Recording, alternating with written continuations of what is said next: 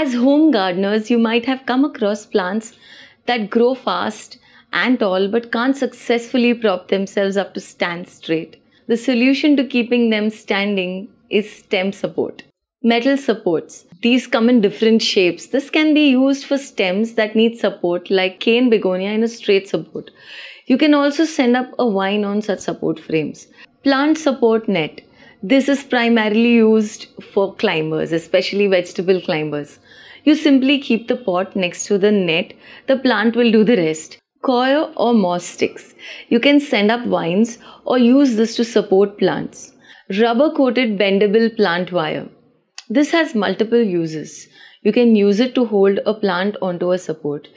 Plastic cable ties. These also are used to hold plants to support sticks, frames or nets. Grafting buckle clips. This tool is primarily used for grafting but you can use it to hold two stems together as well.